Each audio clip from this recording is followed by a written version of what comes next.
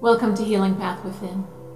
For the week of November 29th to December 5th, we are using Getting into the Vortex cards by Esther and Jerry Hicks, The Teachings of Abraham.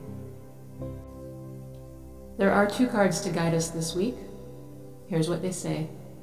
Card number one.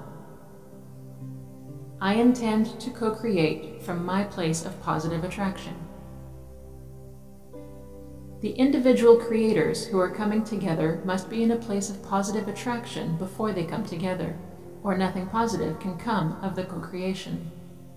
If you are negatively focused and not feeling good, you can only attract others who are in the same state of negative attraction.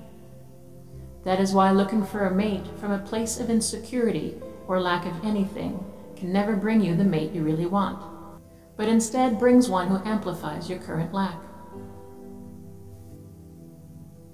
Card number two. I am a vibrational being, vibrationally emanating desires.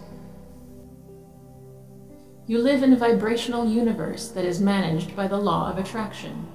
The law of attraction is bringing vibrations that are alike together.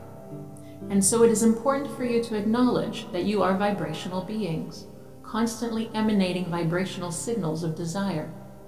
And when, from your human form, you offer a vibration of what you want, because you know what you don't want, so you know what you do want, you cannot contemplate any subject without equal components of wanted and unwanted appearing vibrationally in your experience.